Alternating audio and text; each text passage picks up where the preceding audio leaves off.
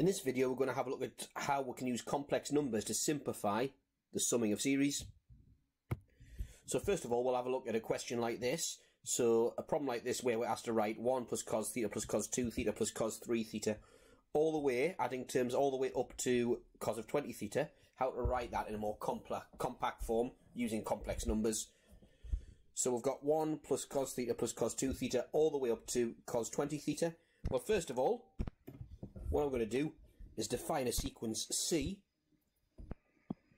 to be exactly that which we're being asked to sum. So C is 1 plus cos theta plus cos of 2 theta all the way up to cos of 20 theta. And I'm going to define a similar sequence in sine to be sine theta plus sine of 2 theta plus all the way up to sine of 20 theta. Ignoring this one here.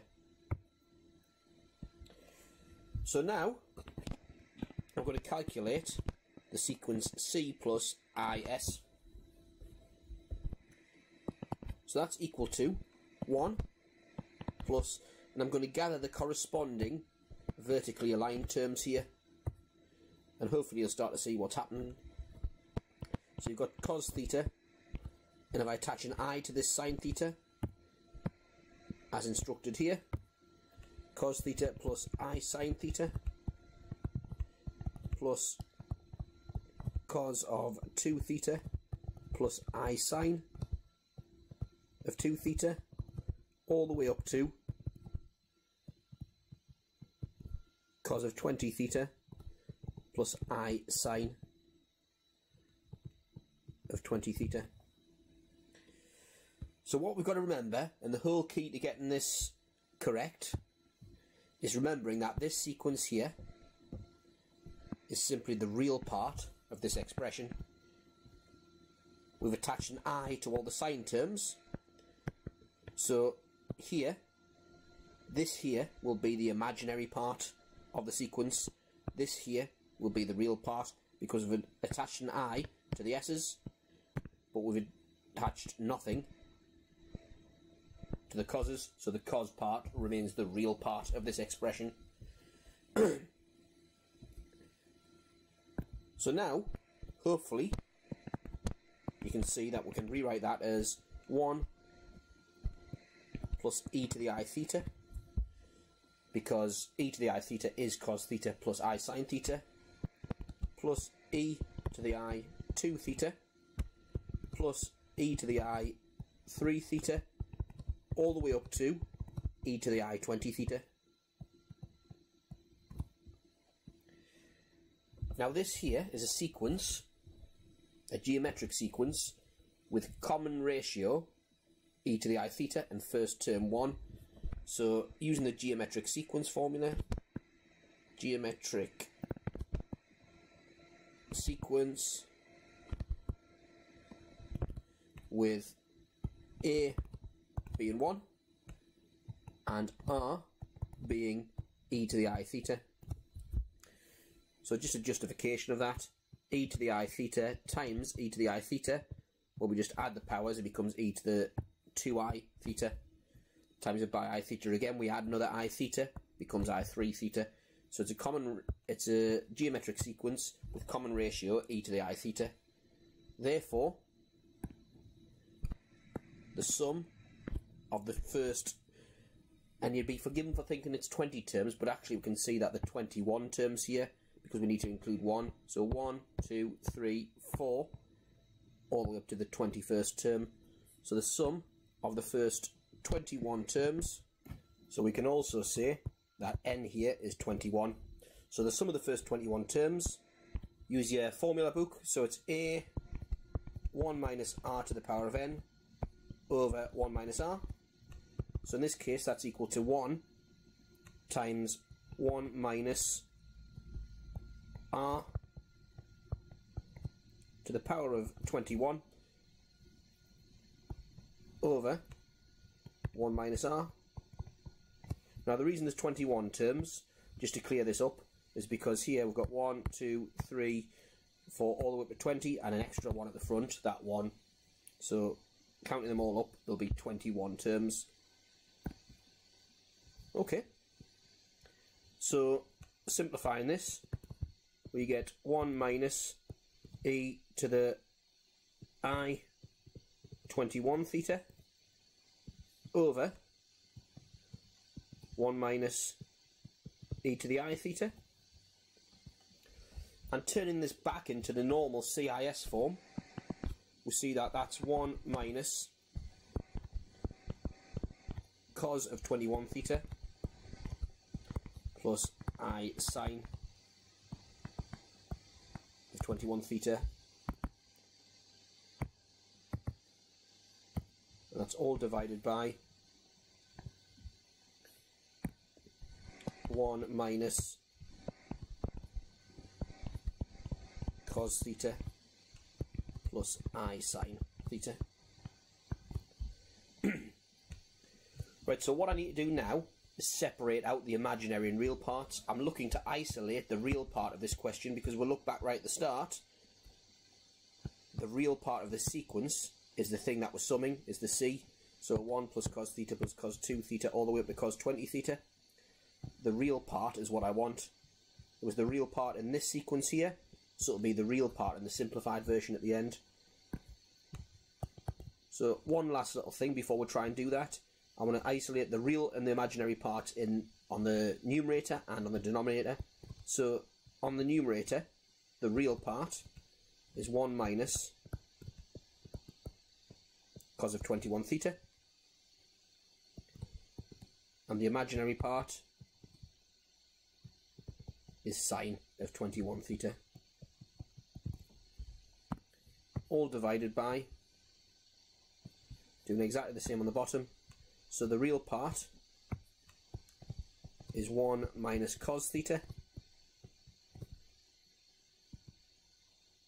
And the imaginary part is minus sine theta.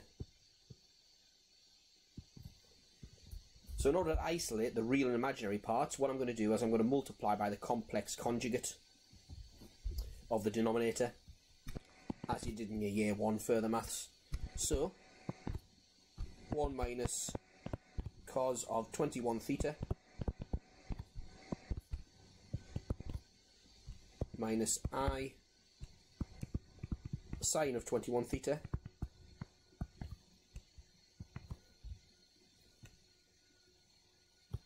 all divided by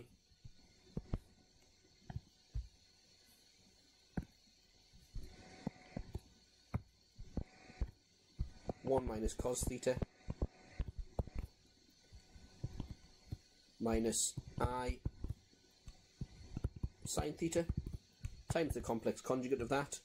So turn the imaginary part, uh, change the sign of the imaginary part. So 1 minus cos theta now plus i sine theta over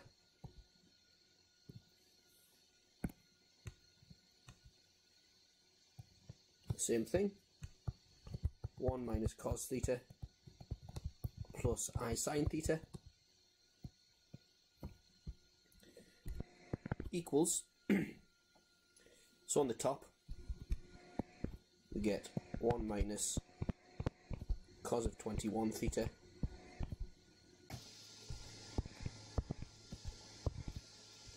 minus i sine of 21 theta multiplied by 1 minus cos theta plus i sine theta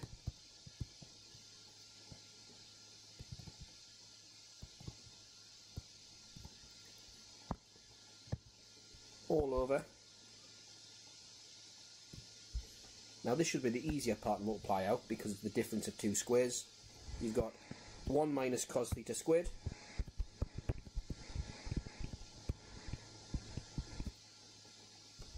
plus sine theta squared or sine squared theta as we normally write it. So now I have the denominator real. So we're going to have a look at the things that we need to multiply together to get the real part.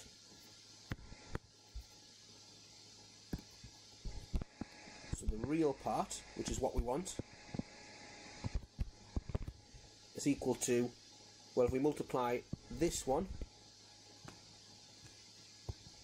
by this, it'll give us a real part. And this one here, by this one, we'll end up with an uh, Uh, with a i squared, and that will give us a real part as well. So the real part, so multiply the pink ones together, we get 1 minus cos of 21 theta times 1 minus cos theta.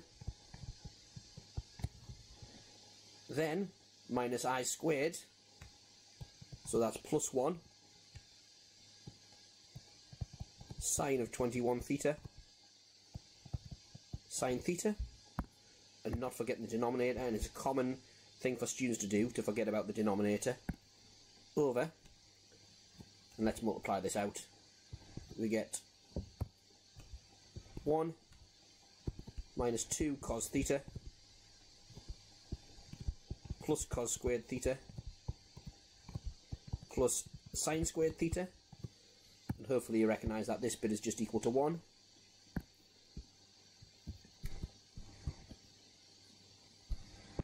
so it's equal to let's multiply this out we've got so 1 minus cos theta minus 21, uh, sorry, cos of 21 theta. Plus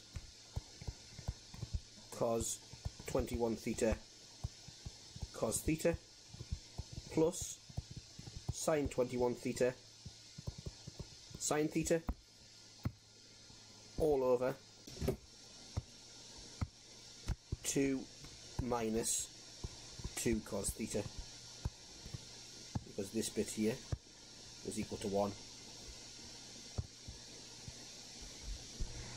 equals 1 minus cos theta. Minus cos of 21 theta. And with this here that's actually a compound angle. It's an expansion of a compound angle. So if you consult your formula booklet, you'll see that that's actually plus cos of 21 theta minus theta.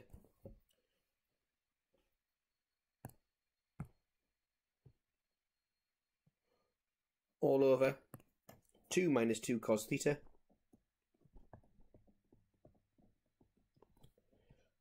Let's keep going, we're almost there. Equals 1 minus cos theta minus cos of 21 theta plus cos of 20 theta all over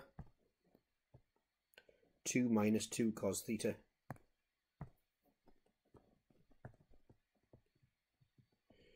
Which is a much more compact expression than the 21 term expression we were originally given. Now, let's just be 100% clear here.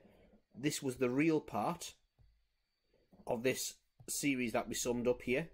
So we can see that that was the real part of the, uh, of the sum of the geometric series. And the sum of the geometric series was C plus IS. It was the real part, C, was the thing that we were asked to sum. So what we did, we worked out C plus IS in order to be able to use this, in order to turn it into a geometric series but remembering that this was the real part of the series. So once we got the nice compact expression at the end, we only wanted to take the real part from it. We did that here, and then simplified it using compound angle formulae and trig identities to get this four-term expression, six if you count the denominator.